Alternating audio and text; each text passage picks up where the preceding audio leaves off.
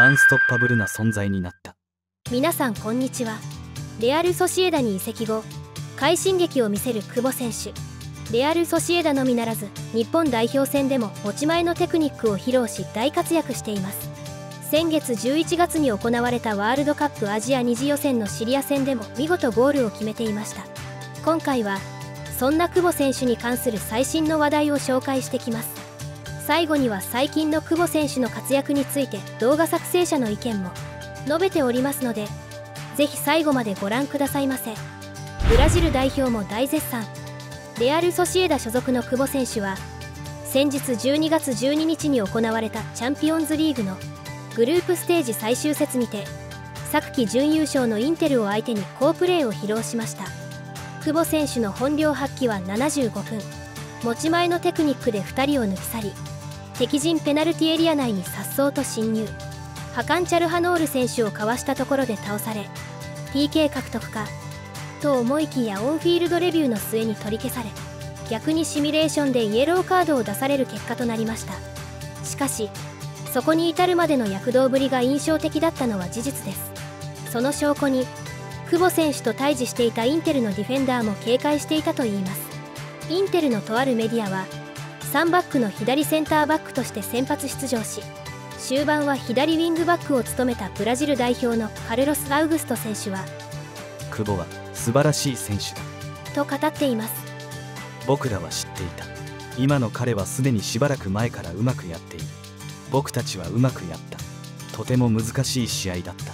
今は前を向こう。この試合のカルロス・アウグスト選手に対するイタリアメディアの評価はバラバラです久保選手とのマッチアップになったことに言及した寸評もあります。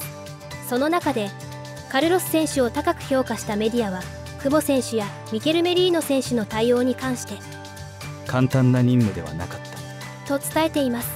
また他のメディアも守備ではソシエダで最も危険な久保を相手にミスが少なかった。久保がボールを打つたびにサンシードは息を飲んだ。と評価しています。その他のメディアもミスが少なかった彼のゾーンには久保がいたがマークで閉ざすべき時は反応した。とカルロス選手の評価に関して賛否両論でした。今季のセリエ A で首位に立つインテルは15節を終えてリーグ最小の7点と守備が堅固なチームです。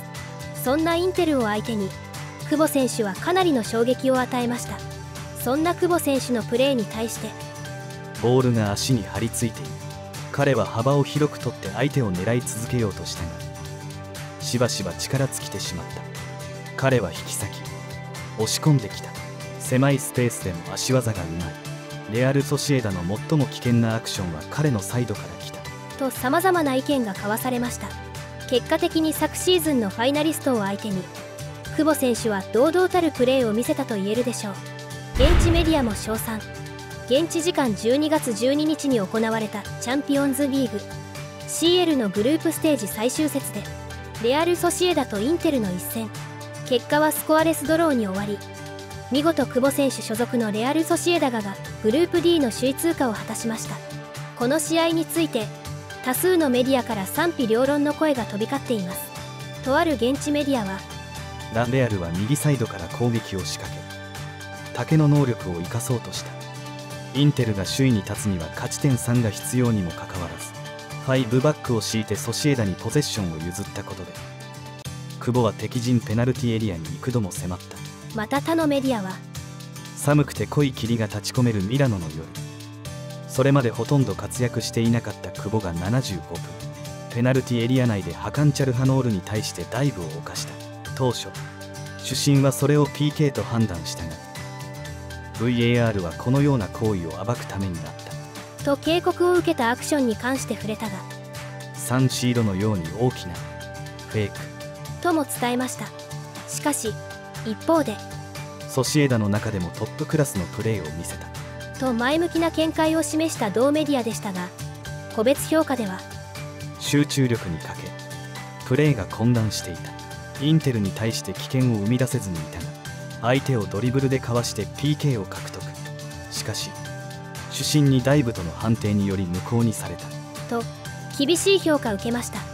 さらに他のメディアも見ていきましょう。バルセロナのとあるメディアは久保選手を破壊的な選手と呼び序盤からボールを受け相手と対峙し引きつけるという仕事を果たし後半はボールを持ちながらインに切れ込むドリブルでインテルを混乱させた。アルゼン・ザカリアンに素晴らしいパスを出したが PK を偽装したとしてイエローカードと彼の試合を振り返っています。そしてチャンピオンズリーグ決勝トーナメントについて。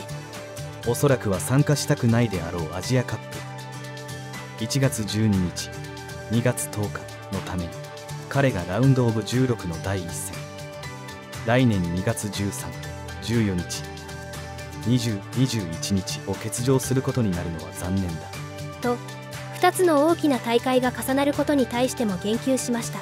バスクのとあるメディアは後半の久保のプレーに関してハーフタイムの後ソシエダはさらなる攻撃を試みるために再度前進しプレーを右サイドに集中させることで勝負に打って出た。そこでは久保がまるで圧倒的な力を持ったハンマーのように繰り返し攻撃を仕掛けた。彼のパフォーマンスはそのインスピレーションではなくいかなる瞬間も降参しない彼の精神力によって驚くべきものになった。と高評価を示しています。さらに個別評価の記事でもチーム2番目タイの7という高得点を与えうまくいかない時に久保が批判されるのは奇妙なことだ。その粘り強さや自信により彼はチャンスを追求したとえ3人の相手選手に寄せられてもそれを生み出すことを可能にした PK が取り消された場面で相手との接触がなかったのは残念だ。彼はいつも必要な位置にいてセットプレーもとてもうまく蹴った。と称賛の言葉が送られました。しかし他のメディアでは前半で攻撃を最も試みた選手だったがイマノル・アルブアシル監督は彼に守備への関与を求めた。後半にはダイブでイエローカード。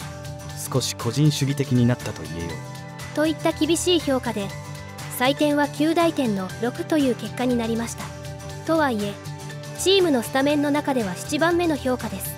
また対戦したインテルの地元メディアは両チーム最高タイの得点6.5を久保選手に与え常に前線で動き回り相手選手をかわしてボールを保持した。インテルにとって彼を抑えることは難しかった。として久保選手をチームのベストプレーヤーにも選出しています。また久保選手のこの試合の活躍にサッカーファンはあれだけスピード乗ってドリブルされたら上半身当たったら体勢崩れる。シミュレーションは取られたけどそこまでの久保選手はすごかった。ダブルタッチで抜いた時には感動した。いよいよもってワンオンワンではほぼアンストッパブルな存在になってきた。三笘といい。このレベルで無双できる日本人が出てくるとは。と称賛の声を上げております。アジアカップの出場は先日久保選手が擁するレアル・ソシエダは現地12月12日に行われた。チャンピオンズリーググループステージ第6節にてインテルと敵地で対戦しました。結果はスコアレスドローに持ち込みながらも見事グループステージ首位通過を決めました。この試合いつも通り右ウイングのポジションについた久保選手は昨シーズン準優勝となった強豪の堅守にチームが苦しむ中得意の仕掛けで敵にとって最大の脅威となりました。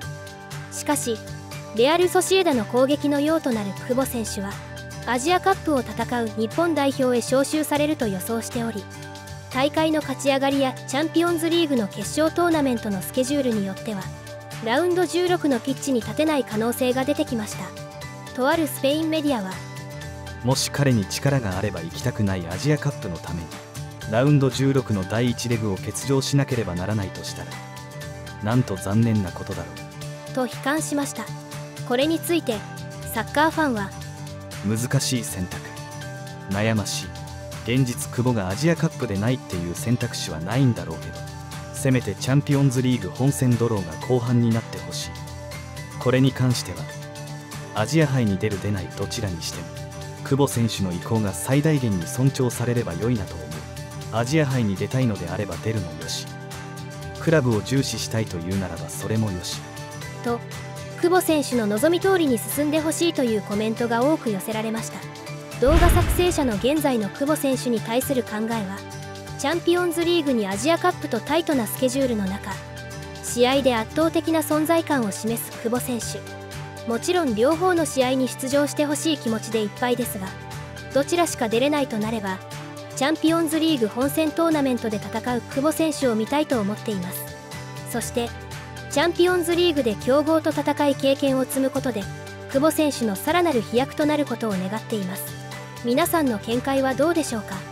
ぜひ私も知りたいのでよかったらコメント欄で教えてください。今日も最後までご視聴いただきありがとうございました。ぜひチャンネル登録高評価よろしくお願いします。それではまた次回の動画もお楽しみにお待ちください。